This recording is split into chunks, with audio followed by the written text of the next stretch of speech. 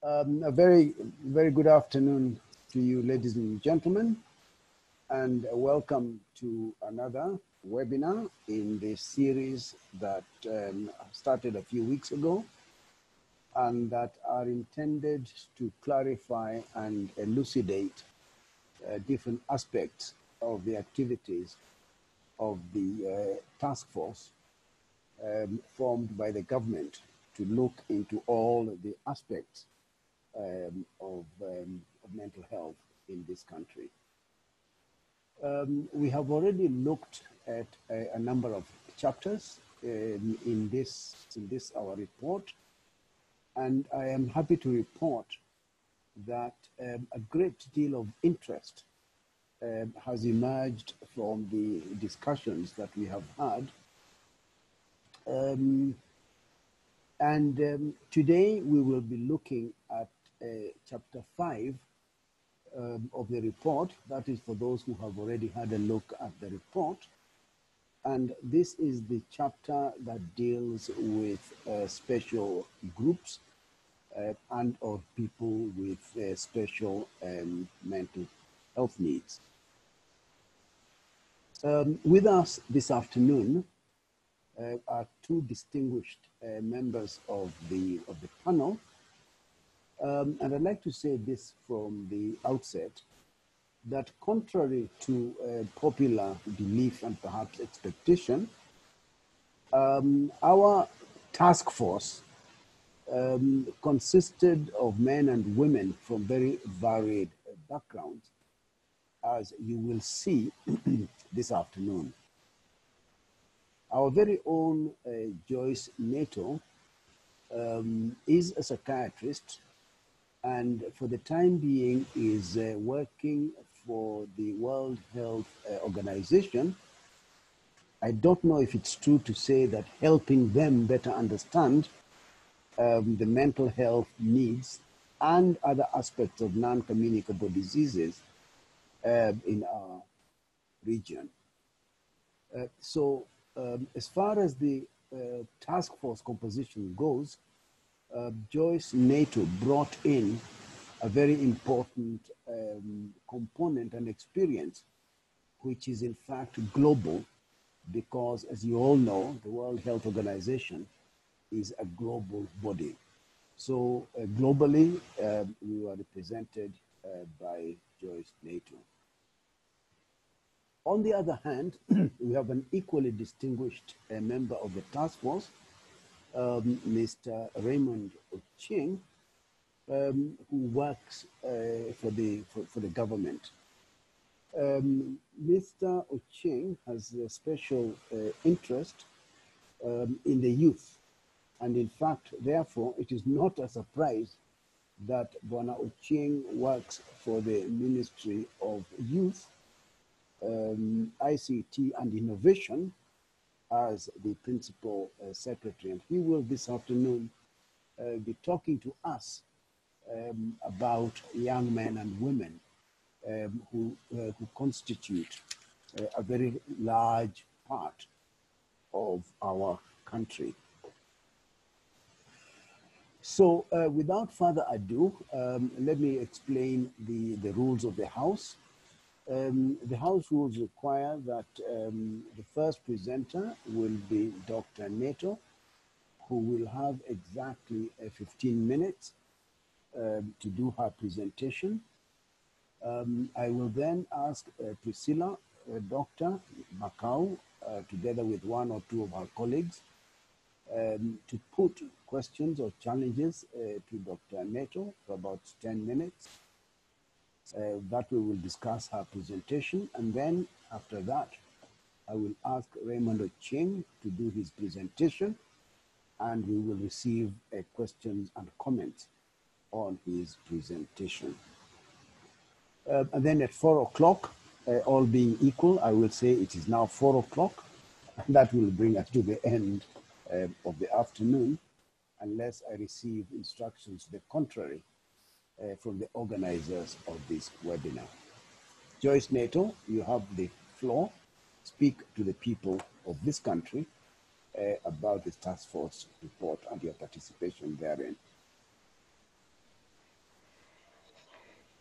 Thank you very much, uh, Chair. I'm happy that I'm going to do a presentation. And uh, as you have been told, we are going to talk about mental health and special populations. Why do we take out the special population? Please go to the next uh, slide. Yeah, mental health. When we mention mental health, we say that mental health is not equal to mental illness. We all require good mental health status. And mental health is a state of well-being in which you realize your abilities, you can cope with the normal stresses of life, you can work productively and fruitfully and contribute positively to your community. So we all require good mental health status. Mental health is important at every stage of life, from childhood, adolescent, throughout to adulthood. And by the way, even children in utero require good mental health status. Mental illness is not a personal failure. If one has a mental illness, that's not a personal failure. In fact, if there is failure, it is found in how we respond to people with mental and brain disorders. We contribute a lot. Next. Now, why mental health and special populations? Who are the special uh, populations? These are the groups of people whose mental, whose mental health needs require special consideration and attention. We all require good mental health status, but the mental health needs of these populations re, uh, require special considerations. They can be defined by age, by occupation, biological, psychological, or social characteristics.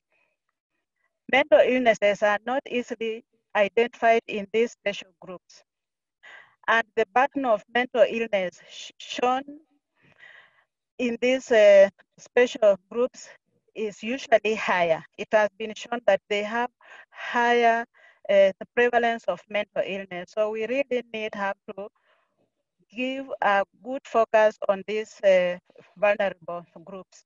There are very many of them, but uh, I'm going to talk about uh, the ones that concern women and children and the occupational risks. We know that uh, uh, globally, 10% of pregnant women have a mental illness and 13% of new mothers will also display signs of a mental illness. It is good if we if women become pregnant we really become happy and so on but know that 10% of those pregnant women will have a mental illness and primarily is mainly depression. They may have any other but depression is very very high and if we look at the developing countries these figures are actually higher 16% of pregnant women develop a mental illness, while 20% of nursing mothers will develop a mental illness. High risk is usually due to poverty, migration, extreme stressors, exposure to violence, emergency and conflict situations, natural disasters, and low, so, uh, and low social support. A mental illness in a pregnant woman or in a nursing mother will lead to self and family neglect. They will neglect themselves and eventually neglect the family. They'll neglect the children. And at the end of the day, find that uh, it negatively affects the, the child's growth and the development. If not treated, this mental illness can actually be very severe and may lead to death by suicide. So it's very important that early identification is very, very important and prompt treatment will lead to normal life. Next.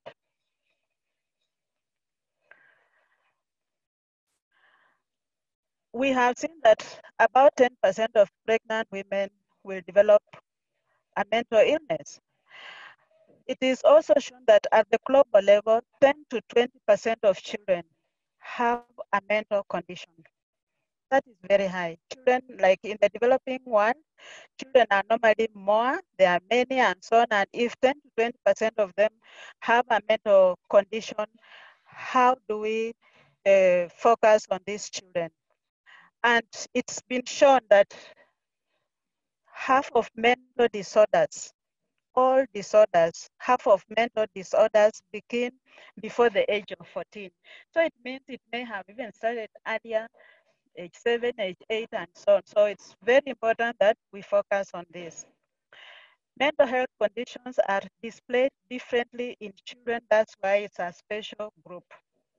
They display the signs and symptoms very differently, so we really need to be very observant.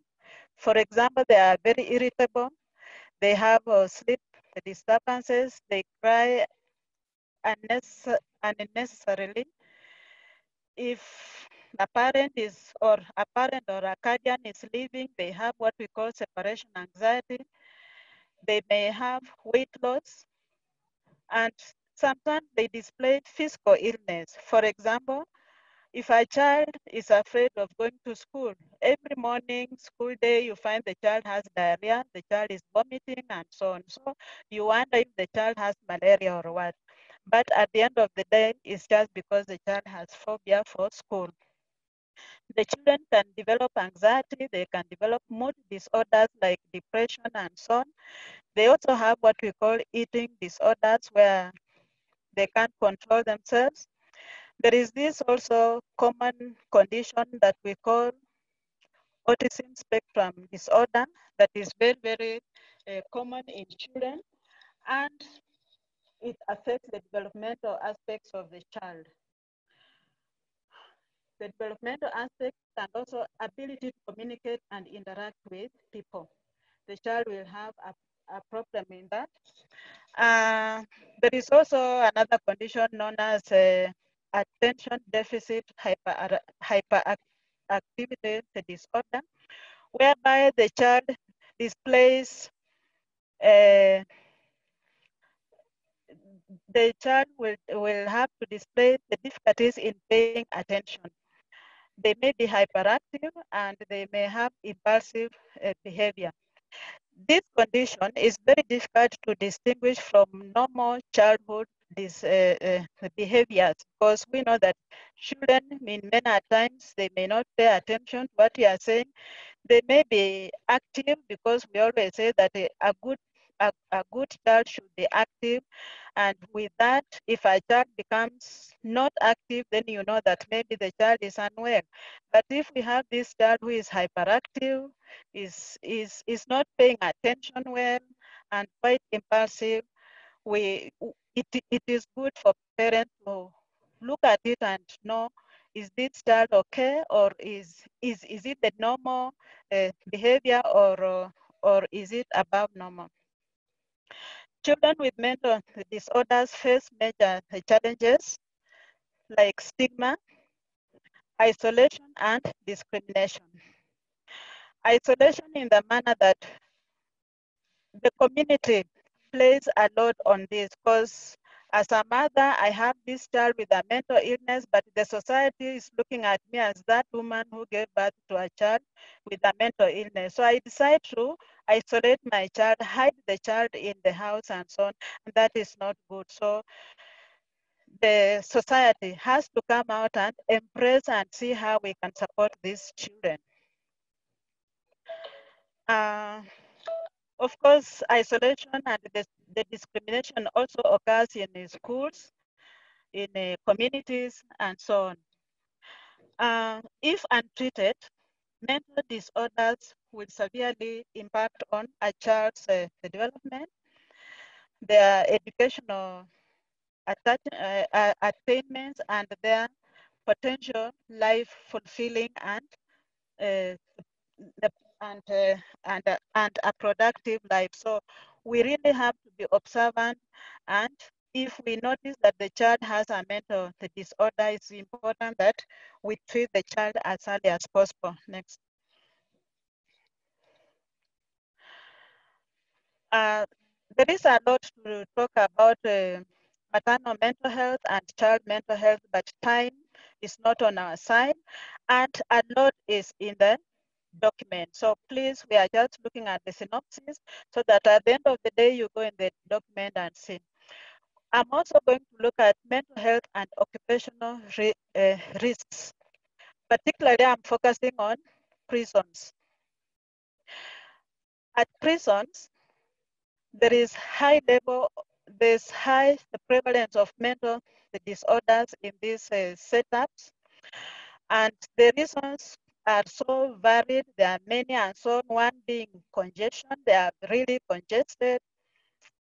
Of course, the prison is supposed to correct somebody, no comfort there and so on. But at the end of the day, you find that there is a lot of discomfort at the prison say, settings. And then the cases are not uh, uh, uh, processed as early as possible. So you find that somebody stays there for a very long time the, because of the criminal justice uh, process. So it's important that uh, we look at uh, mental health status at the prison level. There is also inadequate mental health services at uh, the prison settings. You could find maybe one healthcare provider that is giving services to a thousand, two thousand people and so on. That may not be sufficient. And on top of that, because of the overcrowding, a lot of space at the at the facility, you find that the carers are also affected. They may be affected because of the stress that they are undergoing. Disciplined forces also showed that they have problems. And this we got from the people themselves talking to us. We visited the prison area. We got uh, uh, submissions from the disciplined forces. And one of the things that really came out was that we, the disciplined forces, are so physically prepared, but we are never emotionally prepared. Looking, for example, at, at the police service, they are physically prepared, but when there is an accident, for example, who should arrive there first is the police officer, and you find somebody is crushed inside that vehicle and so on, and it's the work of the police officer to remove this body and take wherever it, they are supposed to take. The trauma they undergo is really, really a lot. So it's very, very important that we also prepare these officers emotionally often encountering traumatic instances, as I've mentioned. And because of these traumatic instances that they encounter, it leads to increased uh, the prevalence of post-traumatic stress disorder symptoms, such as they get depression, they may have panic attacks, they may have phobia, fear of uh, the following day. They don't know what they'll encounter the following day. They may get, they may get uh, mania, or they may go into substance abuse, trying to forget, trying to use substance abuse to forget what they saw. And this is just aggravating the situation. And at the end of the day, they may even be suicidal. They really experience extreme violence. For example, the armed forces, they experience severe uh, violence and they endure the possibility of their own life being taken away, dying any moment and so on. So all this affects their mental status. Another issue that came out was like they, they have long stay away from their families and friends because of duty. And this really affects them and uh, mentally we need to support them. Next. Now, after listening to the people and going around, the task force made the following uh, recommendations. Some of the recommend, some of the recommendations that were made, most of them are in the in, in the in the document. I could not put them here because of time. Number one is integrate mental health services with antenatal care and postnatal care at all levels of healthcare. Starting from community level, going up to level six, we have to have to integrate mental health services with antenatal care and postnatal care, catering for mothers, nursing mothers, and for the children. We have to create awareness to parents, guardians uh, that are taking care of children on mental health uh, needs of the children. As you have noted, children may express mental illness, the symptoms of mental illness very differently from adults. So if the parents are made aware to look for these signs and symptoms, we shall be able to manage the children in uh, uh, as early as possible. But earlier management usually leads to even cure. We have to increase mental health care prov uh, providers at correctional facilities. We have to increase because there are few and when they are there, they can be able to initiate services like screen and provide timely management of mental health conditions to inmates. There, there will be no delay of saying that they send this person to such a facility and so on. So they'll manage the inmates very well. We need to, to streamline the judicial uh, process to expeditiously dispose of cases in order to decongest the system to reduce stress because congestion alone on its own will lead to stress. Avail mental health services to disciplined forces and provide regular debriefing on mental health at all workplaces, including at the disciplined forces places, whereby both the managers and the staff are, are uh, debriefed on mental health and the needs of good mental health uh, status. Next. In conclusion, let me say that anyone can be affected by a mental illness, anyone. However, the prevalence has been shown to be higher in vulnerable groups. We need mainstream mental health services in all sectors, not all health services, but in all sectors, because everyone requires good mental health status.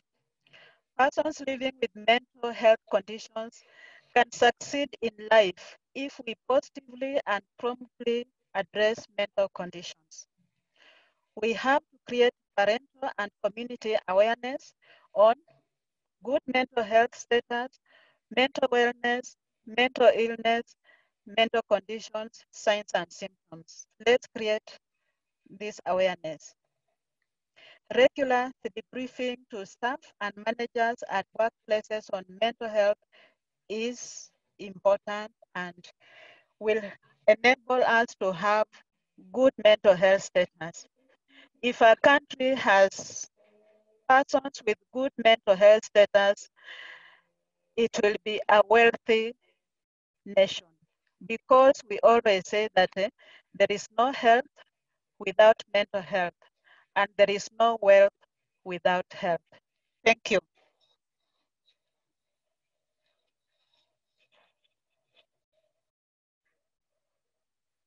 Oh, thank you. Thank you so, so, so, so much, Daktari. It's an excellent um, presentation of a very interesting subject. Uh, I've seen a question from somebody called Monica Kinyanjui that says that uh, in your presentation, you didn't speak about me, uh, that is the elderly. Uh, but I think that's probably all right because if Monica looks at um, the same chapter 4, uh, item 4.5, it actually talks about senior citizens um, who are over the age of 60 um, and so on and so forth. I think what uh, you didn't have time to do, uh, Dr.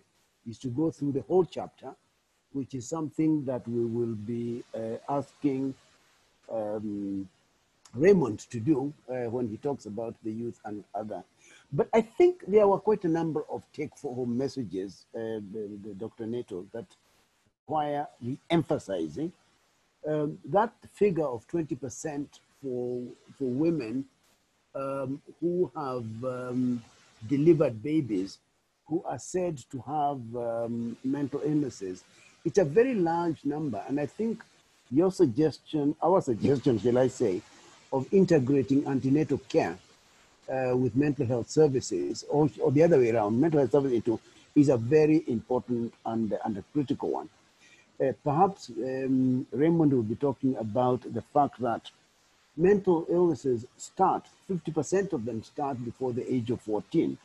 That, I think, is a very big uh, take home uh, for all of us.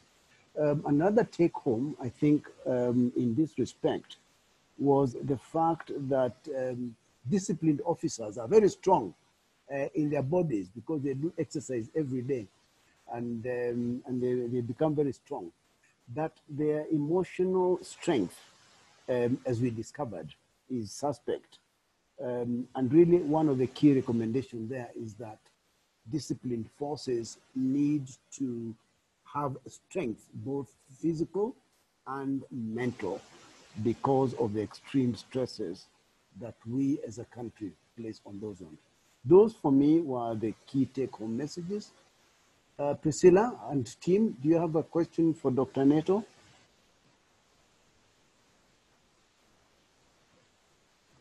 Yeah, now they have gone. Where have they gone? All right. Hello. Uh, Hi, so Karen, you have a question for Dr. Nato. So maybe we Okay. can continue and then we can do all the questions at the end. Thank you. I will, I, I will ask Dr. Njuguna because he's had uh, the presentation to make any comment because he's a panelist.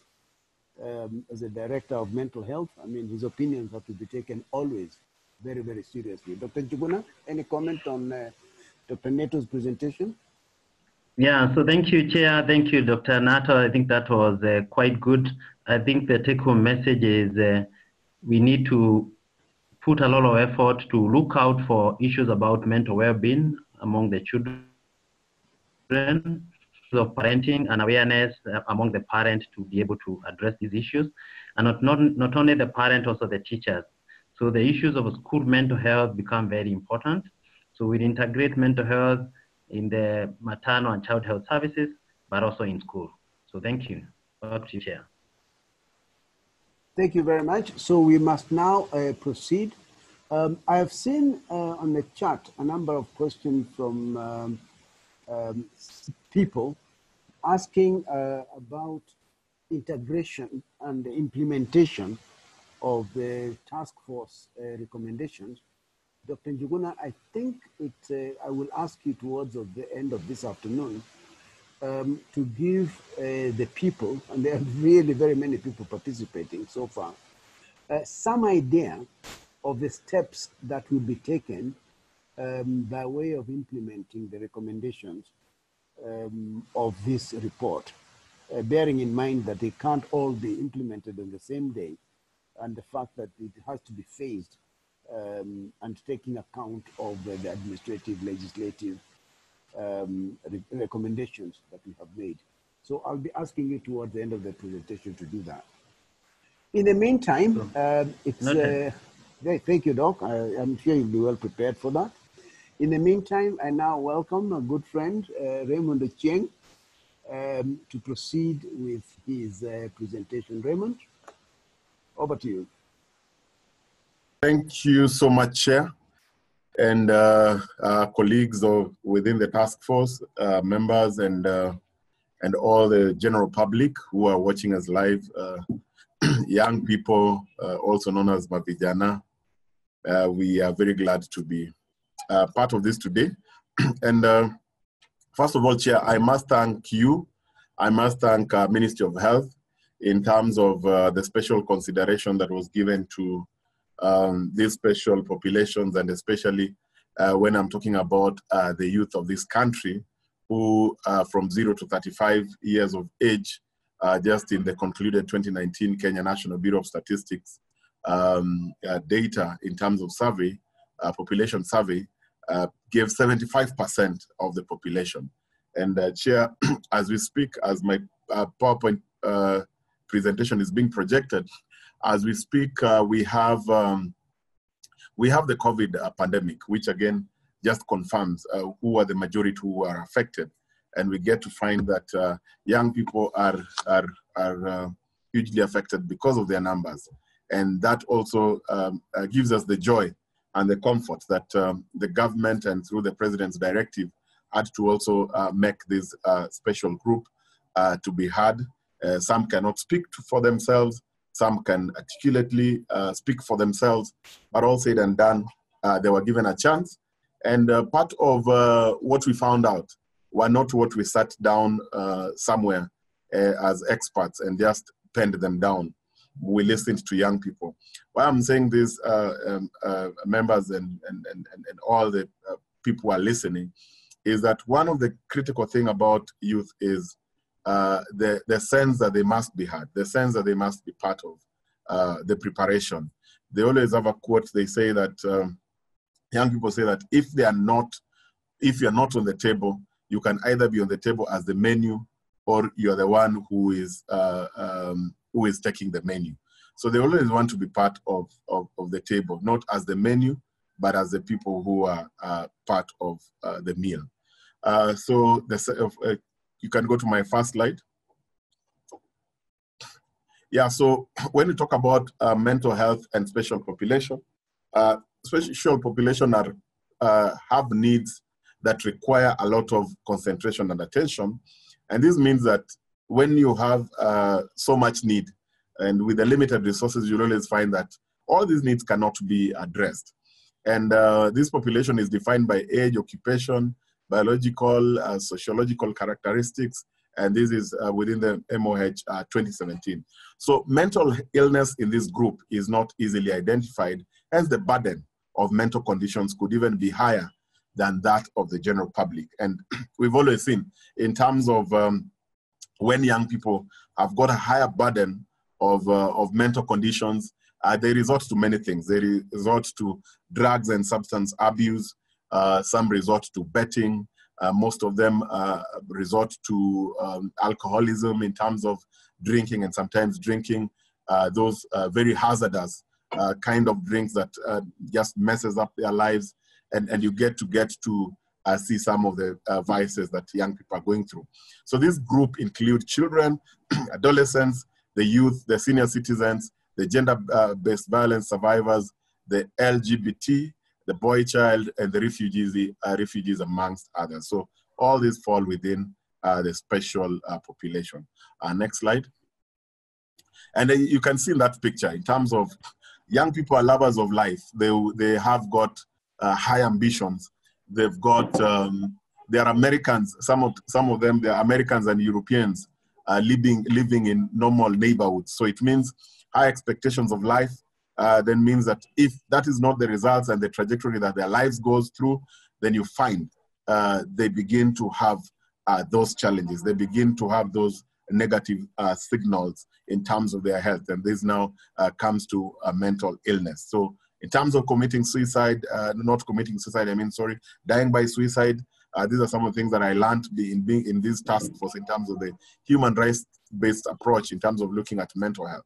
They die by suicide, and that is who young people are. Indeed, energy, they're tech savvy. So at the end of the day, how do we address them? Next slide. So the adolescents and mental health, uh, this is a transition period between 12 and 18 years. And why is it very critical? Uh, it's very critical because it's a crucial uh, period for developing and maintaining social, emotional habits that are important for mental well-being. if anybody has ever uh, related to the people who are so-called teenagers, the court called teenagers, they're very difficult to deal with. Even parents have a challenge with dealing with uh, teenagers. Everybody, a sister or a brother to a teenager, does not understand what teenagers really go through because sometimes they tend to isolate themselves. So this is a point whereby emotional habits are being driven. These habits include the healthy sleeping patterns that are very critical, exercising, developing of problem mechanism, interpersonal skills, and managing emotions. So it means at this critical stage of adolescence, if it is not, if they are not handled very well, and social support and uh, structure of the society does not address their plight very well, then we find uh, they form uh, they become victims. So it is estimated that 10 to 20% of adolescents globally experience mental health conditions, yet they remain undiagnosed and undertreated. And this is according to the World Health Organization report of 2014. So again, as you can see in terms of statistics, globally, and you'll find even in terms of some other societies that uh, some of the basic needs and healthcare systems are not so much developed, then we are guaranteed that in terms of uh, Kenya and other African countries, we even shoot higher and double uh, of, of, of, that percentage given. So the task force recommends psychological services should be made available and teachers' capacity should be enhanced to address uh, this particular uh, cohort. Uh, next slide. and again, uh, that just shows the numbers, the numbers within these special populations. And that's why they, be, they end up being under-treated because the resources are few yet they're the uh, common majority. Uh, next slide. So the youth and mental health, and as I said before, uh, the uh, census of 2019 pointed to the numbers of the young people. So these are transition from childhood and, and dependence to adulthood independence. Uh, so UN entities, instruments, and uh, regional organizations have somewhat a different definition of youth. According to our Kenyan Constitution 2010, we define young uh, people from ages 18 to 34 years of age, uh, uh, 11 months, and uh, 29, uh, uh, 29 days. You know, when you clock 35 exactly, then you are no longer the youth. So the poverty, gender inequality, inequity, and human rights violations have shown to increase incidences of mental health decreased ability to make rational choices has led to mental health conditions. Youth have lamented about joblessness, need to be involved in policy making and implementation. and I want to just bring this to the participants that uh, uh, this report is one of the most uh, honest uh, reports that I would ever find that has spoken to government and duty bearers in terms of the plights of the young people. Because, Chair, when, when, when, when you read uh, when you go to the annexure of this document, you'll find that uh, in page number 90 of this document, we're talking about we caution against dealing with symptoms. And when we were talking about the uh, young people, the, the, the deliberateness of this document and this work that just said that, you know, when we are talking about young people, let's not look at the symptoms. And I think this would really hurt very many young people because when you're talking about um, many of us needs to be treated for mental health. The question is, why are we landing, why are we having uh, mental illnesses? Is because of the hopelessness that young people have had. And that's when we had uh, uh, a young person gave us a very moving story chair and uh, that story will be my closing. But at the end of the day, the socio-economics, the economics around it then uh, challenges these young people. So the task force supports youth empowerment by implementations and recommendations by the uh, relevant government agencies. So the, the task force report was, was very critical in terms of uh, saying that the government agencies must have uh, youth empowerment uh, uh, programs that are impactful, that will change uh, and transform the lives of the young people. Because if we don't do that, then we end up dealing with what we said in page number 90, is we are dealing with the symptoms and not the real root causes. Next slide. Uh, the refugees and mental health. Refugees experience is divided into uh, following stages. And, uh, and this was also a little bit very mind-opening. Till uh, when you feel you're not part of this population, then you get to know that pre-flight stage is a, is a challenge because many young people lose their families, livelihoods, and belongings. We have the flight stage whereby this involves uncertain journey from home to an area that you do not know, separation from families.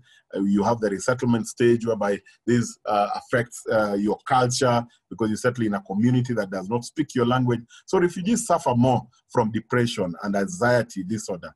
Uh, so the task force recommends, amongst others, that the government and other bodies to provide a supportive environment and basic needs that can be accessed uh, by these refugees. In terms of the human-based uh, rights approach that they need to access, they have the rights to access the basics so that then we help them. So they're not just people who are happy, who are put in a compound somewhere to be held, uh, to be uh, served later, but they're going through all those challenges. Next slide. Uh, lesbian, gay, bisexual, transgender, LGBT uh, population. And again, when you talk about uh, LGBT, I know it is a very, very, very controversial area. It is an area that uh, many people would feel that then if they're going through a mental illness, then it should be as a result of uh, them being punished uh, for being discordant to what the community is. If, if, if you know somebody like this, then they become isolated. But at the end of the day, this group has unique health needs because every person who's got a challenge of mental illness has the right to be attended to, regardless of every opinion that we may have. But at the end of the day, they also go through mental uh, health problems. So these individuals are persecuted, they are vilified, they are violently uh, assaulted. This is mainly because of their sexual orientation, uh, gender identity, and also our cultural uh, bias, and in terms of even our conservative nature as an African culture. So at the end of the day, violence causes enormous suffering that often unmasks a veil of silence and isolation, leading to mental distress. So at the end of the day, uh, these people can be your brother, they can be your sister, they can be your own son and your own daughter. And I believe we may not uh, be in a position uh, to outrightly feel that then they need to be isolated and suffer without being attended to. So the task force recommends that a mental health service be made accessible to them. Health workers need to be trained to offer non-discriminatory uh, care and services, psychological support services should be provided to them without discrimination. And, and, and, and even the stigmatization that we had, that you ask yourself, uh, look at that picture. Are you, it's like when you, when you try to imagine that you are having mental illness, then uh, umechizi. And at the end of the day, ukichizi, if you hear our chair person is going, is accessing uh, mental uh, health um, um, uh, services, then unasema amechizi. So uh, even the stigmatization that goes through then makes everybody should walk into every hospital. Every young person should walk uh, to uh, to a hospital with and, and be treated with dignity. And I believe that was what informed us to have a very powerful mantra that towards happiness and national prosperity. You cannot have that if people are discriminated. We cannot have that if the basic needs cannot be accessed to all. So that's something that boldly came from this report. Boy child, young boys have been left out in many programs after the advent of female liberation movement. Uh, many have low self-esteem and have lost their confidence and drive they are necessary uh, for success. And this one you've seen even in terms of what boy, uh, uh boy, uh, boy child are doing. Some of them are committing suicide. Some of them are stabbing and killing their girlfriends simply because they have self, self-esteem issues. So the uh, task force recommends government to take affirmative action initiatives, regularly review what needs to be undertaken for this group, enforce the laws that aim at protecting the children, uh, strengthening guidance and counseling and teaching of life skills in schools. And we came out very clearly to look at schools so that you don't have a teacher who is the same teacher again who is doing uh, guidance and counseling because then it means if I access that teacher, I'll be marked like I'm a problem and already I'll already be isolated and the stigma will be on me. Uh, next slide. So gender-based violence survivors and mental health, so GBV survivors have a lot of secrecy about their experiences, which leads to depression. Uh, violence has been identified as a leading cause of injury and harm, and even during this uh, uh, COVID pandemic, even the president pronounced himself on this in terms of what is happening because of depression. So the task force recommends that mental health case, uh, care services should be uh, easily accessible again to the GBV survivors without discrimination and as a basis of everybody has got access to uh, the basic health uh, system. Uh, we have the next slide. So the next slide is uh, uh, just opening up again for Q&D questions and discussions to just um, relook at what the special populations were all about. And what came out very strongly is that empowerment strategies for government were highlighted to be very critical so that we don't uh, uh, we don't address uh, we we address the root causes and not the symptoms. And chair, I finish with um, what we had from a young person who came to KICC and told us that when he was young, he worked so hard and he performed so well, and he was on the newspaper for being the best student in his place. And again, After finishing university, again, he was on the newspaper that government had to blacklist him because he had not paid his HELB. So that tells you opportunities to young people is everything that would help uh, this special population. Share with those remarks, I submit. Thank you so, so, so, so much. That was very, very quick. and succinct. Um, those who will have read the report uh, will appreciate your comments a great deal, and those who have not uh, will be encouraged to, to, to look at this particular chapter. Priscilla, you have some questions for the panelists. You're muted, Priscilla. We can't hear what you're saying, and I'm sure you're saying some good things. We still can't hear you. No. Um, yeah, almost hearing you now. Yeah. No. Are you hearing me now? Yeah, very loudly and clearly. Go on. Good. So we can start with Dr. Nato. Go on. And uh, there was something for what action uh, can be taken for suicide, homicide, violence in the cells or in the different forces that we have, even for the youth and children. What action can be taken for the people who uh, seem to die by suicide? And um, they're also just saying we should normalize therapy amongst the forces that we can reduce the stigma. So make it like a routine. But the main question is what action can be taken? Uh, Joyce? You're muted, Joyce. Go on. Yes, I was just unmuting myself. Oh, thank you very much. Now, persons who die by suicide or homicide in cells, that is a symptom, a symptom to the government that there is a stress, there is a problem, there is a mental health problem in the society, and that Kenyans are not healthy. That is why we came up with the document. Uh, inside the document, chapter one, I think, talks of mental wellness.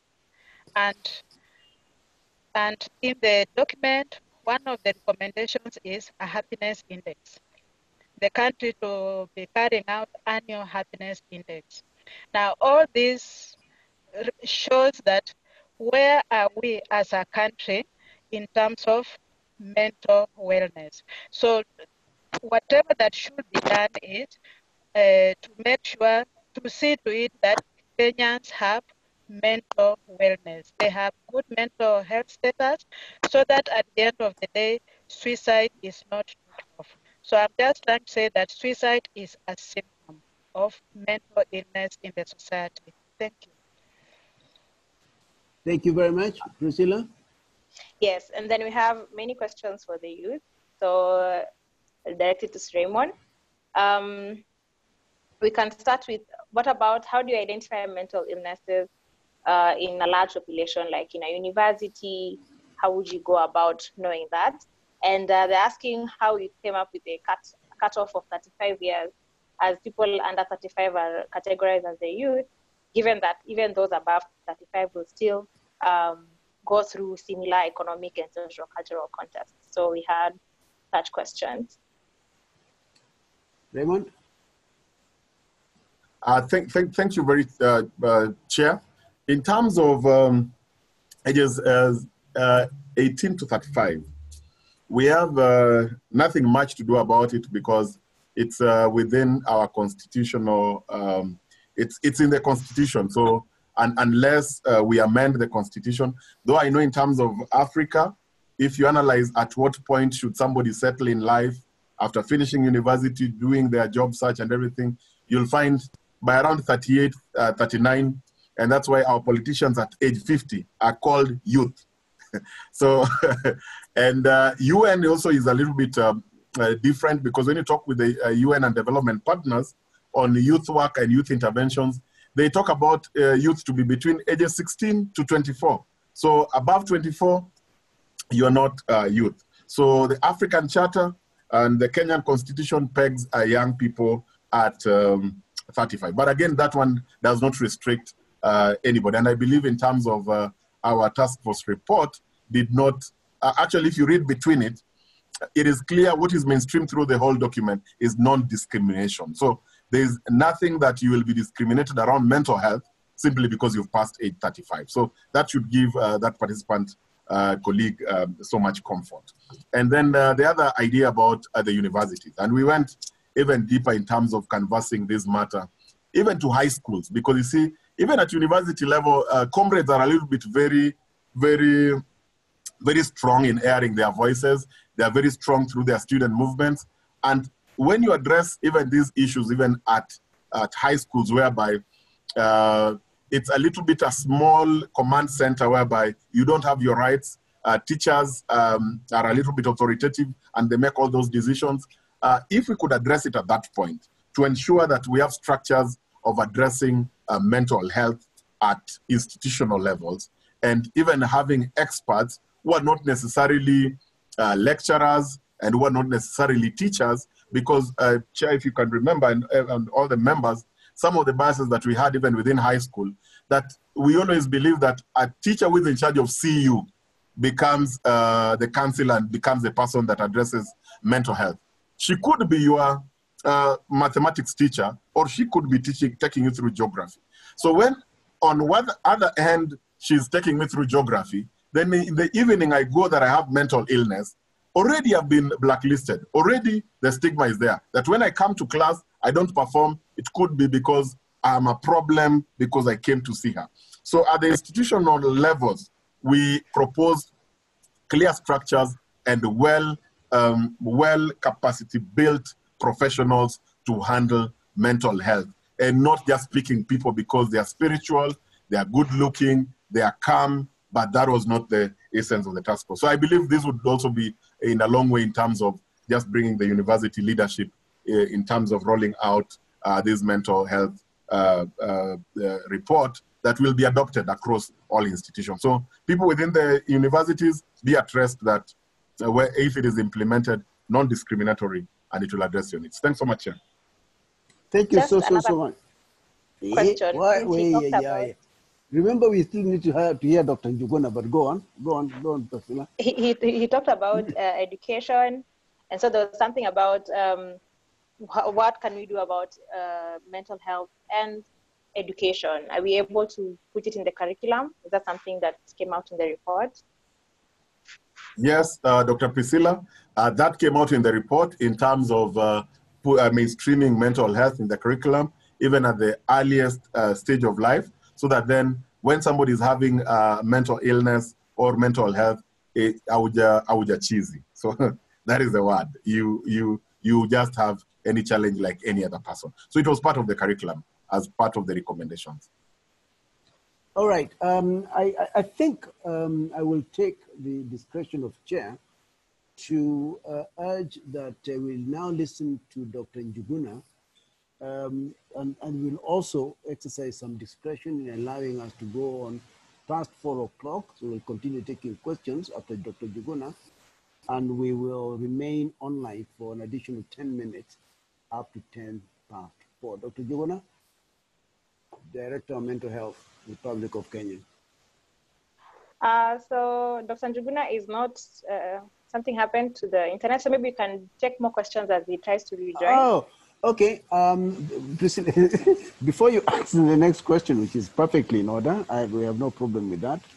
Um, I'd like to thank one or two people. Esther, uh, Dr. Esther Nyabuti is the one who wanted to know something about mental illness in, in large groups. Welcome to our webinar from all the way from Eldoret.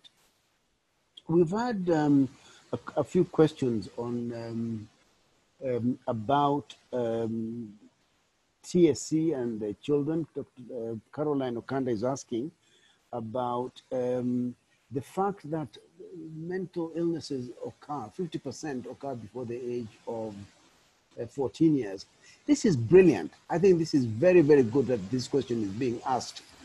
Um, part of the reason of um, doing, um, of writing this kind of report is to increase uh, information and knowledge amongst the people of Kenya so that as we demand, which is our right, that uh, government, uh, TSC and other places react uh, uh, properly to our, to our request. This is done from a position of strength uh, by people who have read um, the report. So really, um, as chair, I'm very encouraged by the, um, the, the extent of the interest that is self-evident, even by the numbers of people who are here with us uh, this afternoon. Priscilla? Uh, I think we'll give a question to, as we wait for Dr. Njuguna, to just Raymond. I think uh, Raymond covered a lot. So there's something about the LGBTQ. The question is, what is the most immediate action? And since we are the ones championing for mental health uh, rights in the country, is it possible to be the ones to champion this cause?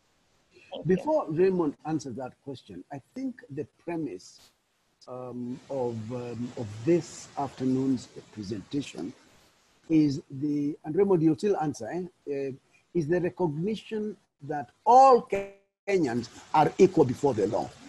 Um, and um, that means that any person who is within the territory of the Re- Republic of Kenya is entitled to the full enjoyment um, of all the rights that are bestowed upon them by our constitution. And that is why when we look at uh, the groups, whether we are looking at uh, refugees, whether we are looking at uh, uh, disciplined forces, whether you're looking at the boy child, whether you're looking at uh, survivors of gender-based violence, these are special groups of Kenyans um, who must be given the rights and the privileges that are enshrined upon them uh, by the Constitution. Now, Raymond, you must now answer the harder question.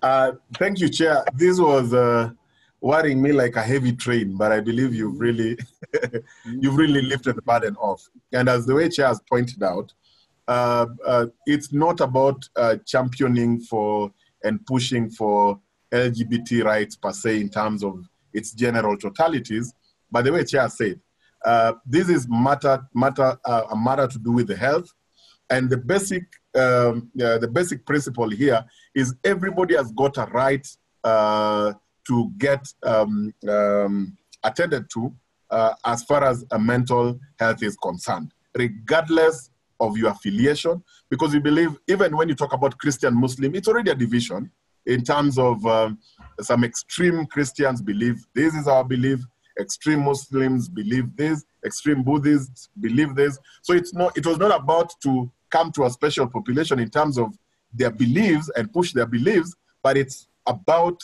everybody has got a right to health and everyone has got a right to mental health. So I think that's what we are standing for. The rest, we leave for the other actors to push within uh, their own rights. So that's the principle uh, that we, we, we, we, we are advocating for. And a part of what will also address this is um, the sensitization and awareness of, of, of mental health uh, as part of a recommendation that came out. And this one comes to one person with health and not any other persuasion. So thanks so much, Chair, for also bringing that dimension. No, no, no. I mean, Thank you. seriously, there's um, Raymond, there's um, there's another question that I've seen um, in the chat from a person called Kamun, um, which again goes back to the elderly. I'm so happy to hear people are interested in the elderly. We are very, very few. I think we constitute only 2.5 percent of the population, uh, but nonetheless, I think we're very important. The question that is being asked um, is in relation to um, this COVID-19 maneno, um, and the, the fact that um, every time any expert stands up, um, they say, "Oh, nyinyi wazee, oh, you the elderly, then get out, oh, stay in your bedrooms under the bed."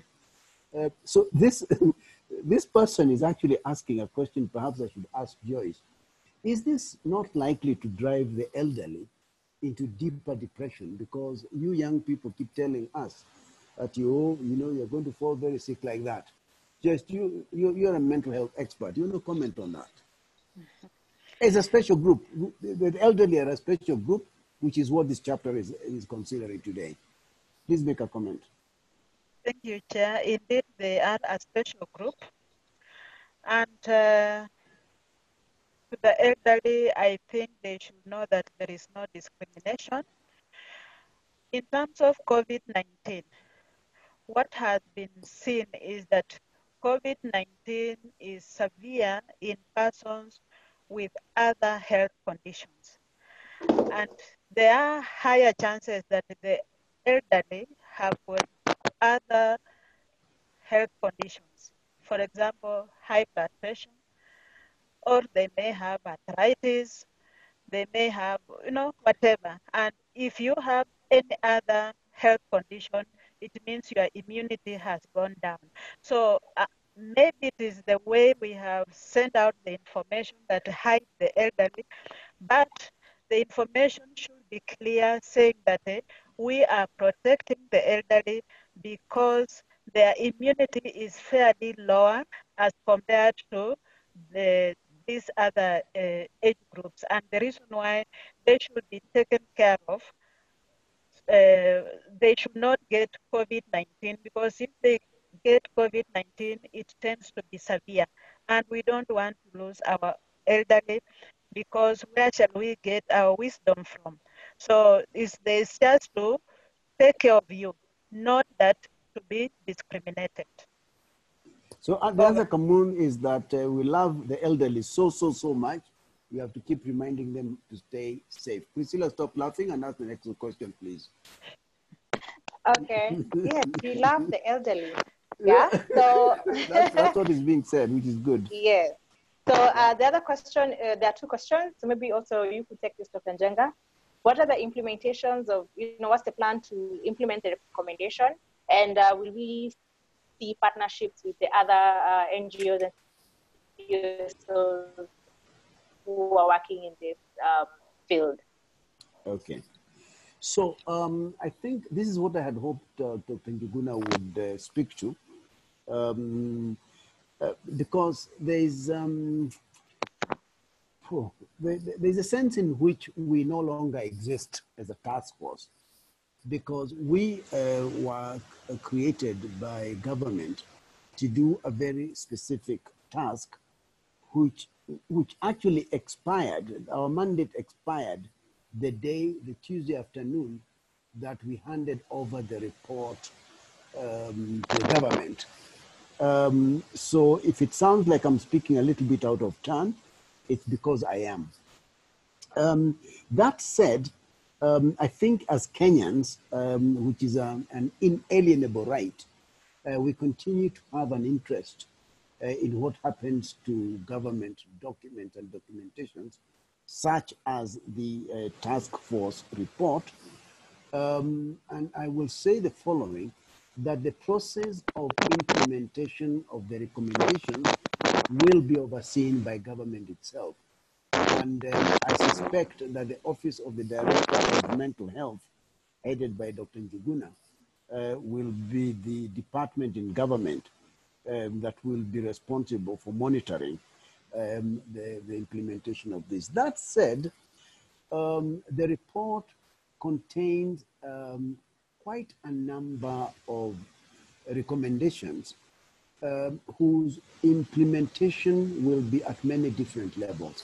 For example, there are fairly simple and straightforward recommendations that will find um, solution by administrative actions um, by the minister. Um, and these, I think, we um, are clear. Um, and I have no doubt that the minister will be able to address them if, uh, in his mind, they are appropriate. The second set um, of, um, of recommendations are slightly more complex in nature um, and will require um, actions by the legislature. For example, um, issues to do with the decriminalization of, of suicide and attempted suicide um, very happily for us, uh, we engage a parliament and we know that parliament is ready and willing um, to rectify that, um, that anomaly. And then there's some other um, longer term uh, recommendations that would require uh, the intervention of government more broadly.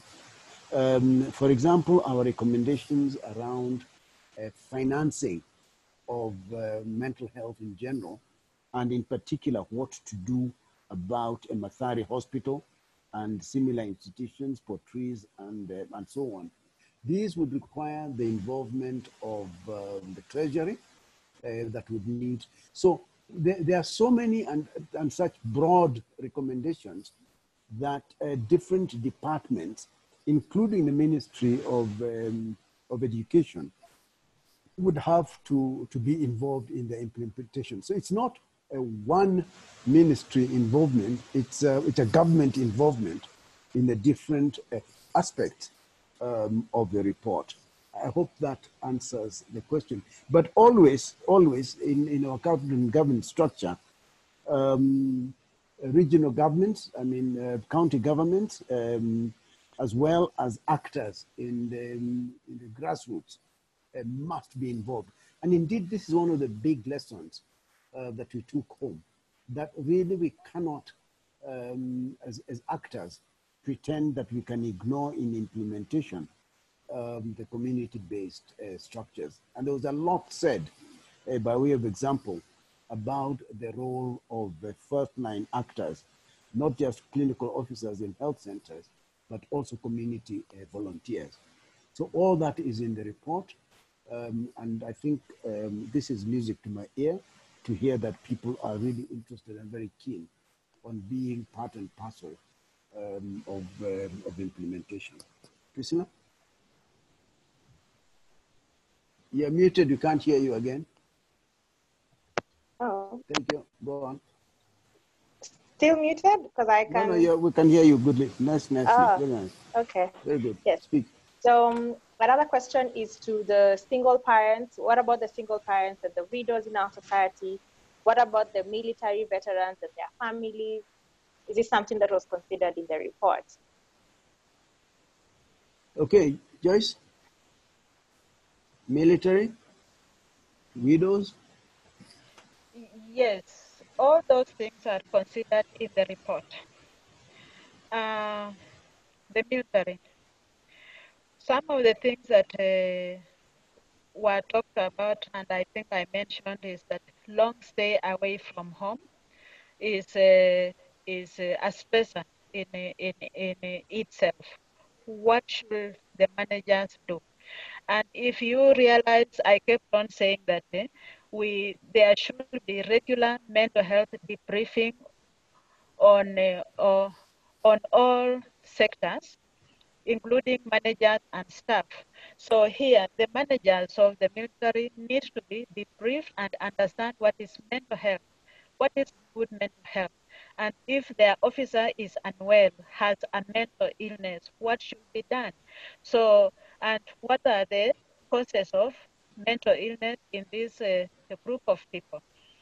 So, if they can be allowed to have leave and stay at home briefly and come back like that, it helps, other than being holed up uh, somewhere for a very long time. The, the widows, the single mothers, all these, if you remember, I said, if, if, if we uh, stigmatize persons with mental illness, then it is us, the society, who are fueling mental illness in the society. So it is up to us, the society, to see how we can support.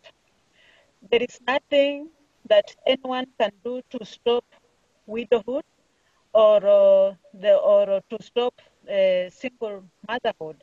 But if it happens, how do we handle it? Do we always say that one or so and so? So it is as the society to be positive towards these people and support them. And at the end of the day, we shall have a good society with good mental health. So for the military, as I had also said, there's need to increase mental health services to these people. They require it. You can imagine you have gone and blown up, let's say, 100 people. Some may have been looking at you and saying, please, please, please, but you bomb them up. What goes on in your mind? These people require a lot of debriefing because they act on uh, orders.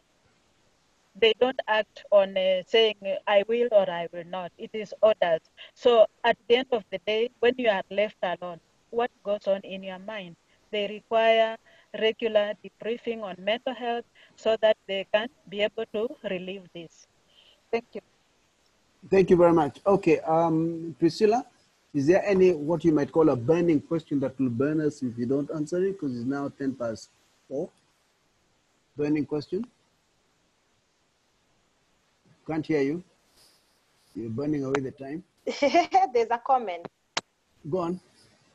Yeah, uh, that we seem to be working to looking at the both, you're not be able differentiating between the active personnel and those who are veterans in our in the report or so that's the comment like are we able to differentiate between the two and actually just give um, actions on both? It's a very interesting question because i don't think uh, i could be wrong that we spoke to veterans as such but um, we spoke to active members of the of the forces um, the fact that you're in the force now must mean that you will one day become a, a veteran.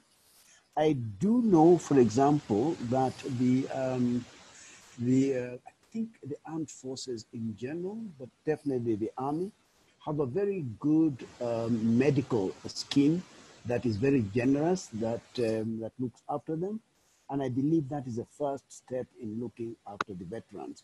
I think it behoves um, Priscilla and other people uh, in government, so, yes, uh, to look into this and find out if indeed we have special uh, programs and projects that look after the veterans, because like the elderly, really they are custodians of our um, of, of, all the things that we are today. They've looked after us during their health times. Thank you. Excellent comment.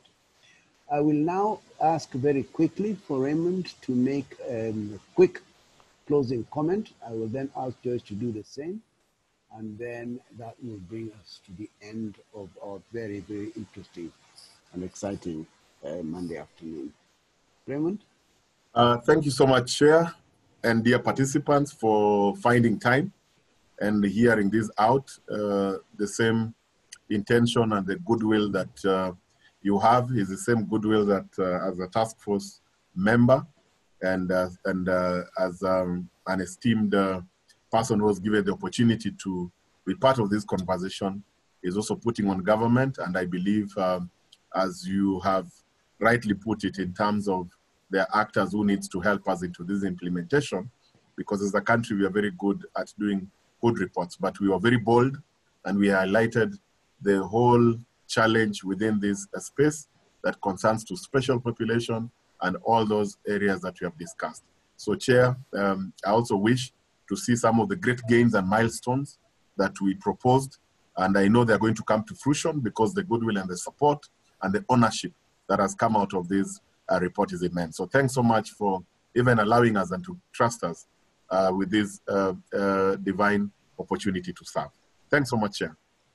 Thank you, Joyce. Okay, thank you very much, Chair and the participants, all those who are listening, we had to come up with this chapter because we know that it is, the special groups have got special needs. We have not enumerated everything. You can go to the to the book, to the report, and uh, read.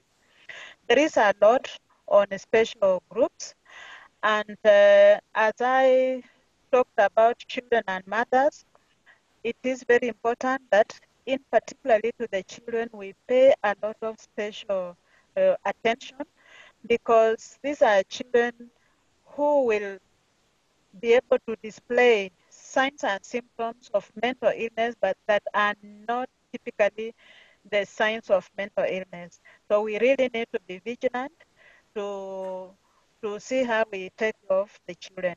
And for mothers, if a mother has a mental illness and has not been uh, uh, treated, we know that this will pass over to the family and in particular to the children who will not grow up well. So as a, as a society, we really need to give our mothers uh, good care not that whatever they ask for, we give them, but good care. needed care to take care of them so that they can take care of the children because we know that mothers are the ones who take care of children in their early childhood and so on before the fathers will provide school fees and so on. So very, very important that we take care of the children, we take care of the mothers, the mental health aspect. And as I, as I had concluded, I said there is no health without mental health, and there is no wealth without health. So please, let's take care of our mental health status, all of us, all of us, and in particular for the special groups, so that our country is a healthy country. Thank you. Oh, thank you very much. Uh, I'm receiving many uh, private messages from Priscilla, from Mercy, um, telling us that this conversation is not finished. This conversation will continue on Twitter on Thursday. Perhaps you can hear between 12 and 1 p.m. Uh, mental health um, in special groups. So those for whom um, the questions have not uh, been adequately answered, uh, please engage the team uh, in the tweet chat um, on Thursday between 12 and uh, 1 p.m. In the meantime, ladies and gentlemen, allow me to thank all the participants. Uh, this, you must agree, was a brilliant, brilliant panel. Special thanks to you, uh, Raymond and, um, and Joyce. Uh, special thanks to uh, Priscilla and, and your team for the tireless efforts you have put in putting this thing together.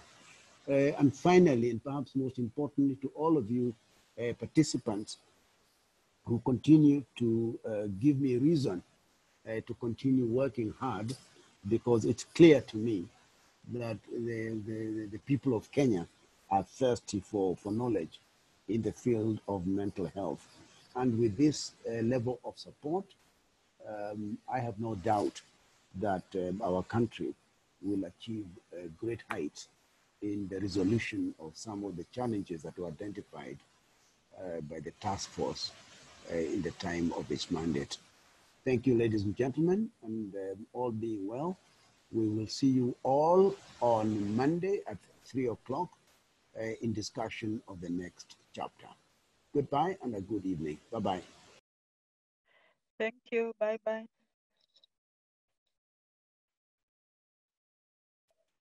Bye bye, Chair and participants.